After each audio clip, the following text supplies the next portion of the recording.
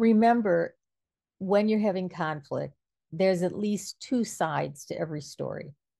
And when there's been an affair, you have to be willing to look at the feelings of each of you before the affair happened.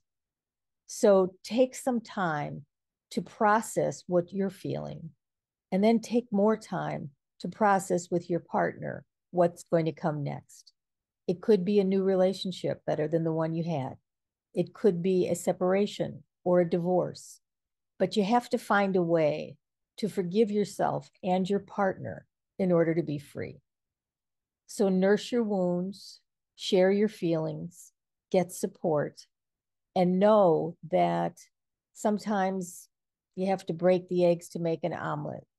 There was probably tension in your relationship.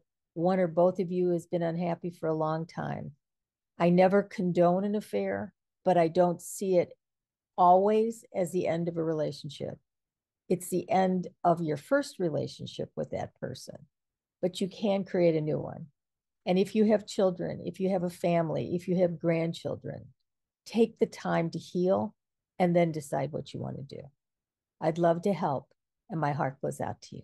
Bye for now.